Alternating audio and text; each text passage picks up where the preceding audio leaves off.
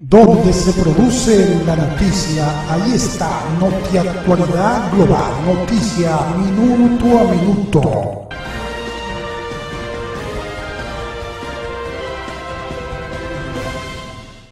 Lo bueno que usted está presentando su documento, eso respetándola a la, ciudad, a la ciudadana. ¿Cómo, ¿Cómo respetamos a una ciudadana si la paramos y le decimos con lo buena que usted...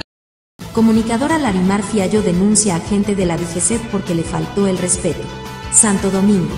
La comunicadora Larimar Fiallo que labora para el programa El Mañanero que dirige Bolívar Valera El Boli, posteó un video en las redes sociales donde denuncia la forma en la que fue abordada por un agente de la Dirección General de Seguridad de Tránsito y Transporte Terrestre DGC cuando éste intentaba colocarle una multa. En el video se le escucha a la gente pidiéndole sus documentos y al mismo tiempo diciéndole, con lo buena que usted está, permítame sus documentos, comentario que a la comunicadora le pareció inapropiado y por lo cual reaccionó indignada. Fiallo expresó, cómo respetamos a una ciudadana si la paramos y le decimos con lo buena que usted está.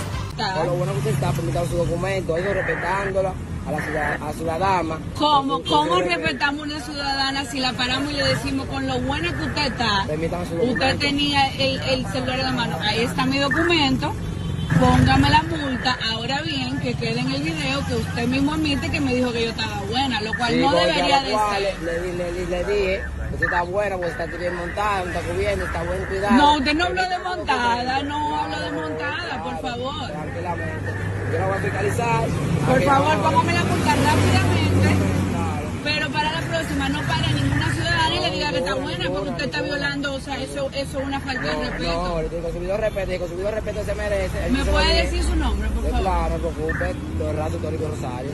Más tarde, la comunicadora posteó una historia en Instagram manifestando que su intención no era que cancelen a la gente, sino más bien que seamos mejores ciudadanos. Agregó que sostuvo una conversación con un mayor de la DGCET y este le aseguró que el agente no será despedido por esta acción. El video ha causado revuelo en las redes donde los cibernautas manifiestan diversas opiniones, algunas a favor y otras en contra de la postura que asumió la comunicadora en contra de quien se identificó como el raso Toribio Rosario. Así anda el país. Para mantenerte informado, suscríbete a Notia Actualidad Global, noticia minuto a minuto.